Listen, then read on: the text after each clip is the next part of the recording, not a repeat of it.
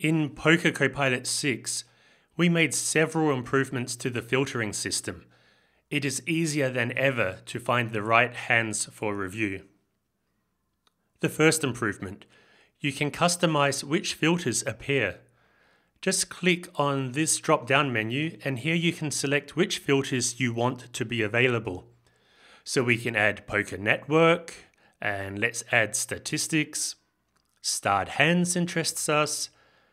Perhaps you always play No Limit Hold'em and don't need the game type filter. Remove that.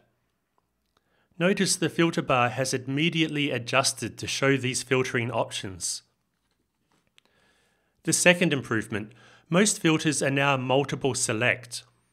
I can show the hands that were 5 max or 6 max. I can show hands where I was in the small blind or the big blind or on the button.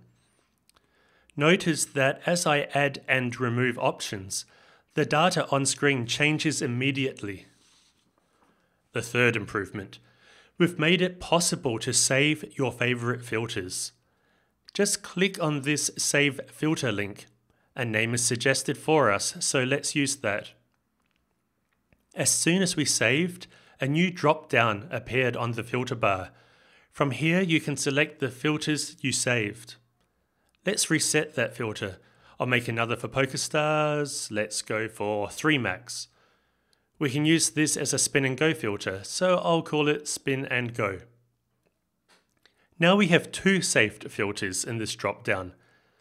With a single click, select a saved filter and immediately all the filter options change and the data on screen changes. We believe this will be a popular improvement for hand reviews and will help you improve your poker game.